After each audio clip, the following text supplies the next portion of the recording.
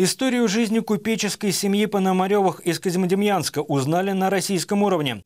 Интерактивный проект «Чайная на Успенской», созданный сотрудниками Козьмодемьянского музейного комплекса, в числе победителей Всероссийского фестиваля конкурса туристских видеопрезентаций «Дива России-2018». Отмечу, что в финале на суд жюри в восьми номинациях было представлено 74 видеопрезентации из 40 регионов России.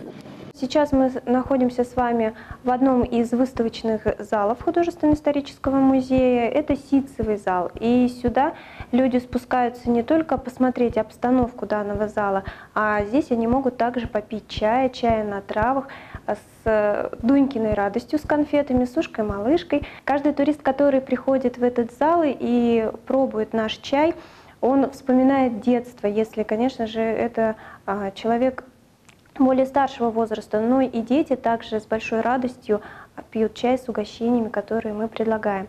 Также в этом зале проходит интерактивная программа для э, групп туристов, если они оставляют заранее заявку.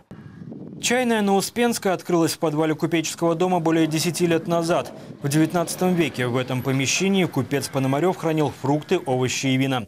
Сегодня это тоже часть музея, погружающая посетителей в эпоху купечества.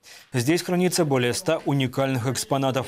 По словам сотрудников музея, это одно из самых любимых мест у гостей города. Отмечу, что за год весь Козьмодемьянский музейный комплекс посещают около 50 тысяч туристов.